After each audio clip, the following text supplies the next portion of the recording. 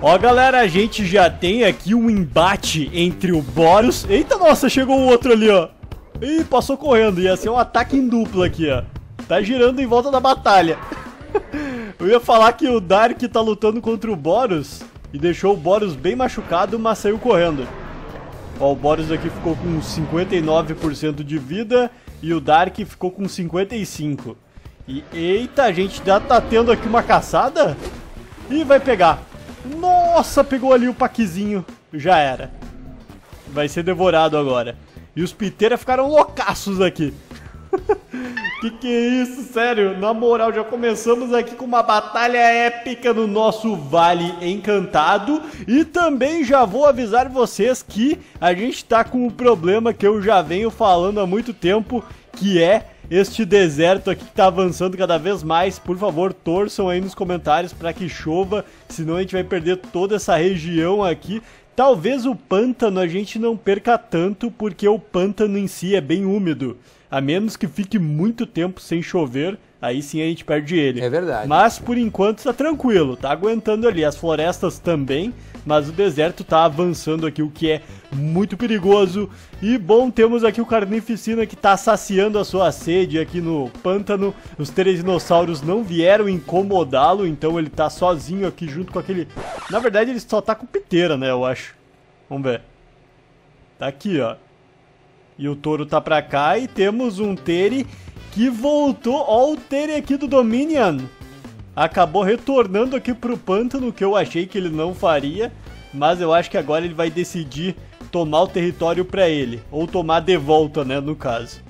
Tá passeando ali, ó.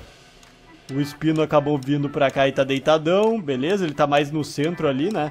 E o Tere tá mais aqui pro lado direito.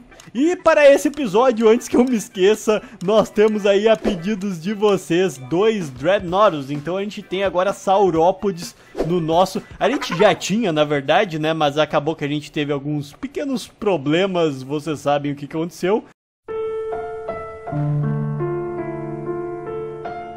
Então a gente tem mais dois agora grandões e eu espero que eles fiquem muito tempo.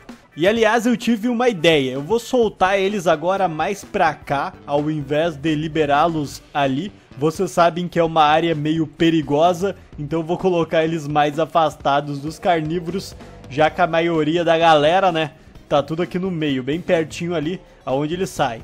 E também nós temos seis Pentaceratops, ao qual o líder se chamará depois.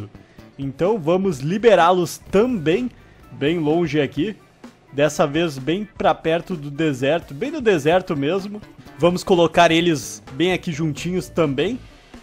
E aliás, ficou um sozinho aqui, né? Eu acho que eu vou liberar ele aqui mesmo. Aí, ó. Esse aí vai ficar sozinho, aí se ele quiser ele desce lá pra baixo e se reúne com a galera ou não, né? Vai depender dele no caso. Vamos ver aqui, tem bastante dinossauro já, vários espalhados. Nós temos a nossa galera de Kentrossauro que tá praticamente solitária aqui, só tem um Galimimos perto que está invadindo até o território deles. E é bem legal que a gente tem dois protegendo aqui, né? Nós temos, obviamente, o Pierce, que está bem aqui, ó, e aquele outro clone dele. que a propósito, né, vocês deram a ideia de colocar mesmo como clone, mas eu acho que eu vou deixar ele de boa, assim, sem nome, galera. Coitadinho, né? Ele, ele é um ser diferente, ele não, é, não nasceu gêmeo do Pierce, não tiveram a mesma mãe, no caso. Se bem que não faz sentido nenhum, né? Porque são os nossos cientistas que criam esses dinossauros. Mas vocês entenderam a minha analogia. Não entendi foi nada. Então eu vou deixar sem nomezinho por enquanto. Se vocês quiserem aí, à medida que forem passando os episódios, vão comentando aí que eu vou ver se eu acho um bem legal que a gente coloca aqui pro nosso Kentrossauro. Ah, e infelizmente eu tenho uma notícia também para vocês que a gente não tem nenhum dinossauro vindo da outra ilha por enquanto. Tomara que eles estejam bem, mas eu acho que sim. E ó, vamos ver aqui, temos um estegossauro ali, o blindado, tá perto aqui do Boros e também do outro Giga, que aliás o Boros eu acho até que já tá recuperado, tá com 100% já. E o Dark? O Dark, cadê ele? Tá aqui ó, tá com 100% também, então não precisamos nos preocupar.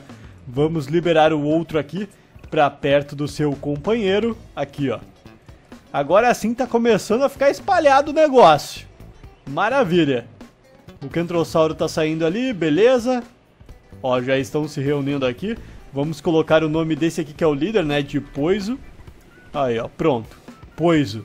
E bonitinho esse aqui, né? Porque ele tem todo um detalhe branco e, aliás, ele tem a predominância preta, né? E ficou bem maneiro, parece meio metálico até. E eu acho que a gente tem uma batalha aqui. Ih, rapaz, outro foi capturado. Mais um pack. O Roberto, nó, Robertinho foi pego. Não durou nada. E claro, né, galera, infelizmente parece que dinossauros herbívoros de pequeno porte tendem a não durar por muito tempo. E vamos ver, tá, temos o Teri aqui. E o quê? O que que o Carnificina tá fazendo aqui, velho? O cara veio... O cara veio de lá de longe e desceu aqui por nada, do nada.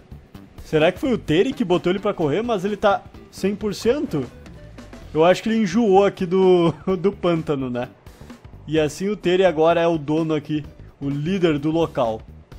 Temos aqui os dois... Eu só espero que esse espino não ataque um dos saurópodes. Porque ele já chegou aqui perto, então... Oh, já tá observando ali, já tá indo em direção... Não, galera, eu não acredito nisso. Eu não acredito... Recém chegaram, o saurópode não dura nesse vale, né? A gente viu. Se bem que eu não posso falar nada, ainda não aconteceu, né? Mas eu espero que não aconteça. Ó, tá se aproximando, tá indo em direção ali aos Dreadnoughts. Ok. Vai passar perto, galera, vai passar perto. Tô vendo já. Olha a cara do menino. Tá completamente apavorado. Tadinho, a gente colocou ele aqui para ficar afastado dos dinos e o espinossauro acabou indo atrás. Será que vai atacar? Olha, o espino... galera, o espino ia embora e voltou, aí tá... É, ele vai atacar. Não tem muito o que fazer. Vamos só torcer aqui para não acontecer. Bom, o Poiso aqui tá junto com a sua galera. Ok. Tem aqui alguns que estão acompanhando ele. Outros que foram aqui pra cima. Olha só que bonitinho esses aqui. Meio verdões. Olha só a distância que esse Teri já caminhou. O cara foi por tudo aqui, velho. Na moral. O outro também, eu acho, ó. Caraca, velho. Esses caras caminham. Em vez de ficar, tipo, tudo no pântano e tal, não. Eles gostam de ficar perambulando. Eu acho que tá assustado aqui, ó.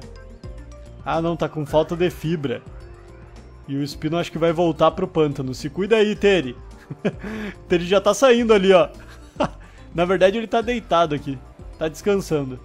Eu tenho certeza que vai ter um abate aqui.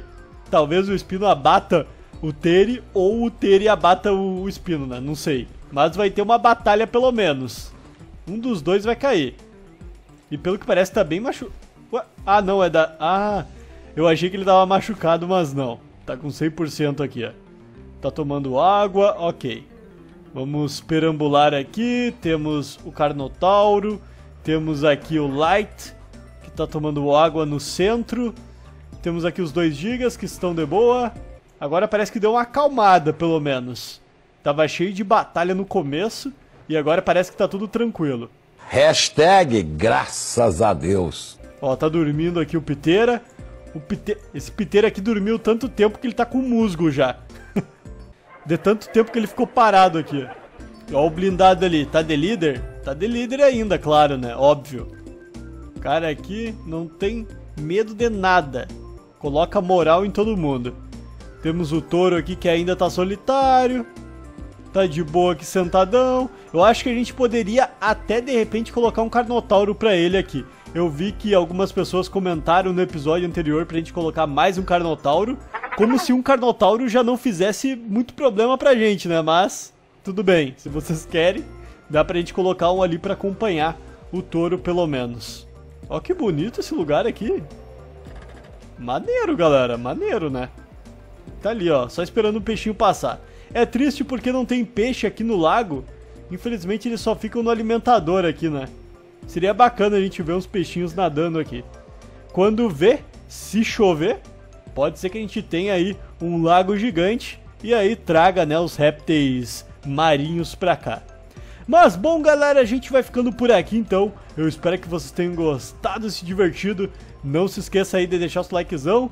Felizmente a gente não teve aqui, né, o ataque do espinossauro. Graças, ainda bem, eu acho que foi aí vocês rezando bastante que fez com que o espino não atacasse. Porque sério, ele foi, voltou, tentou ali uma caçada e no final não atacou. Muito bom, né? Mas valeu a todos, comentem aí os próximos dinossauros que vocês querem ver e também comentem aí quais dinossauros a gente pode trazer ainda do outro safari para cá. Muito obrigado, até mais e tchau, fui! Lembrando aí que a gente tem a loja e também o Seja Membro, que tá tudo aí na descrição e no tópico fixo. Valeu!